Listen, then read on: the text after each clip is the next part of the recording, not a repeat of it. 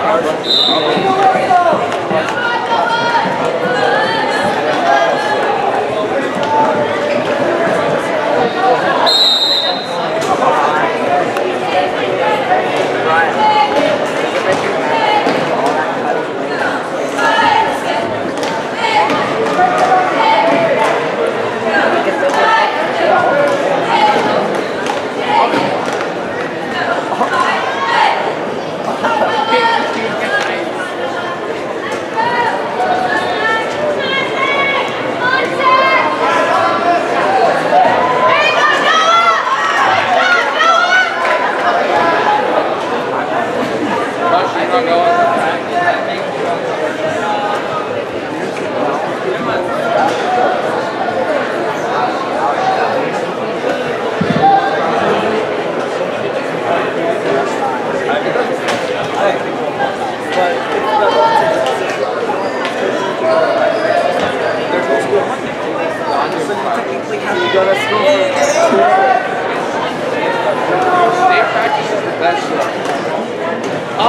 You win this one? What? Second, third, fourth.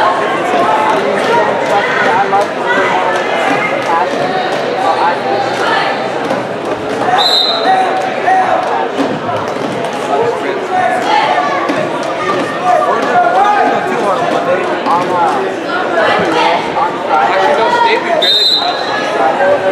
Yeah, because